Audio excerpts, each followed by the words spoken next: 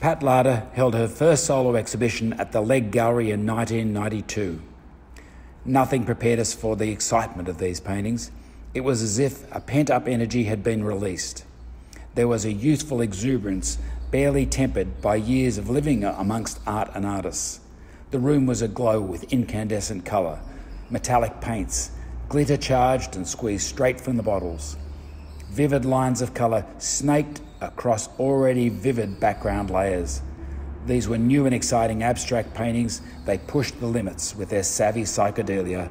They were fresh, different, and unique. Her ensuing exhibitions always had to have that bit more.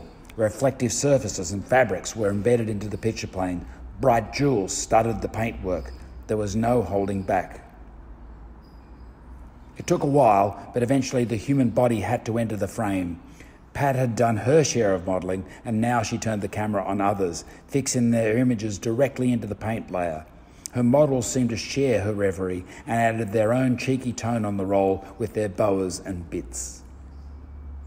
Pat was a multimedia artist long before it was a thing. She made films, mail art, dressed up, posed, and performed. But it was these paintings that introduced her to the public gaze, and they created quite a stir.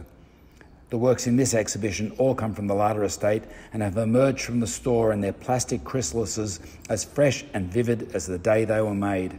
We are delighted to be able to assemble such a fine group of works that have lost none of their vitality. They are amped up, high vis, and brilliant. Pat Larter was a lovely, savvy, smart, and witty woman, and when it was her turn to shine, she gave it everything she had.